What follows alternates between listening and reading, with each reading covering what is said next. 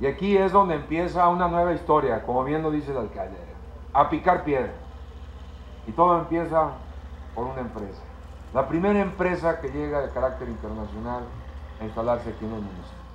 Nos da mucho gusto que tengan confianza, porque sabemos que en Guanajuato, en Dolores Hidalgo, vamos a trabajar de la mano, que vamos a responder esa expectativa y que vamos a cumplir con los compromisos, que van a sentirse a gusto, que van a desarrollarse, van a encontrar mano de obra calificada que se irá desarrollando y sobre todo con un gran compromiso.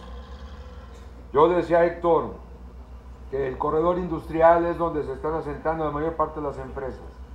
Pero la labor titánica ahora es que lleguen a los municipios fuera del corredor industrial.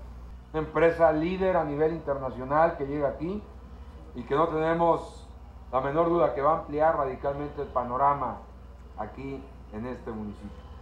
Esta empresa es un sector de autopartes que invierte 2.15 millones de dólares, genera 500 empleos. Y bueno, esto nos va a ayudar mucho en Guanajuato, a consolidar el clúster automotriz. Guanajuato consolidándose como el clúster automotriz más importante de Latinoamérica. Y esto inició con una planta, inició con un sueño y hoy se está consolidando con la integración de grandes sueños hechos realidad.